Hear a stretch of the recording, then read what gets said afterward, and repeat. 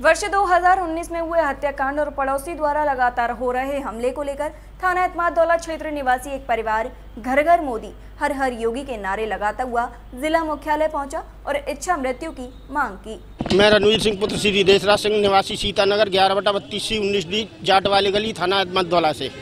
मैं पिछले चार साल से इच्छा मृत्यु के लिए आवेदन कर रहा हूँ मेरी कहीं कोई सुनवाई नहीं होती।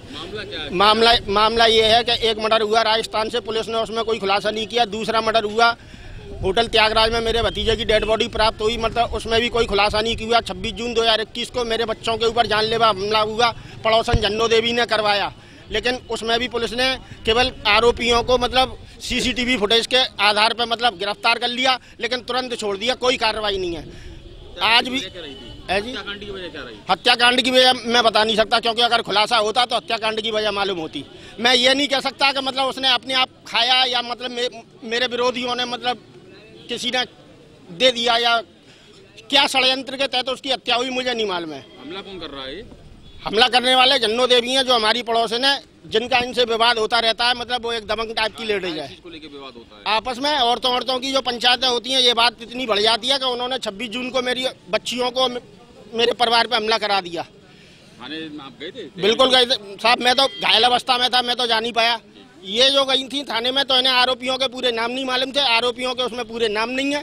जो हैं तो पुलिस ने उनके खिलाफ जो भी कार्रवाई की होगी ऊपर से कर दिया मुझे नहीं मालूम है कि कानून क्या होता है क्या नहीं होता है। मैं परेशान हूँ साहब मैं एक इम्पोर्ट एक्सपोर्ट का धंधा करता था। आज मेरी कंडीशन ये हो गई है सुनवाई ना होने की वजह से। अब आप क्या चाह रहे हैं? मैं मरना चाहता हूँ साहब। कभी मेरी बड़ी बच्ची आत्महत्या करने की कोशिश करती है कभी मेरी छोटी बच्ची आत्महत्या करने की कोशिश करती है। इस समय मैं एक आम आदमी हूँ। आम आदमी के पास में इज़्ज़त के सिवा कुछ होता नहीं है। सर मैं चार साल से चक्कर लगा रही हूँ और चार साल से मेरी कोई सुनवाई नहीं हो रही है। ये दो दो मर्डर हो चुके हैं और मेरी पड़ोसन जो है जन्नो देवी उनके रिश्तेदारों ने मेरी बच्चियों के, उन्हें मालूम है कि मेरे घर के बाहर सीसीटीवी कैमरे लगे हुए हैं। उल्टे उल्टे सीधे कमेंट कसते हैं। मेरे पति ने उनसे केवल इतना कहा, आपके रिश्तेदार हैं या नातेदार हैं, भाई ने अंदर बैठाओ। इतना कहने पर उनने मेरी बच्चियों को और मेरे पति को इतना मारा इतना मारा कि आज तक की मिति में कोई सुनवाई नहीं हुई है। ना थाने में कोई गिरफ्तारी हुई है, ना ही कहीं पर भी कोई सुनवाई हो रही है। मैं बहुत परेशान हूँ। मेरे दो दो घर में मर्डर हो चुके हैं और मैं, मेरी बच्चियाँ आत्महत्या कर रही हैं।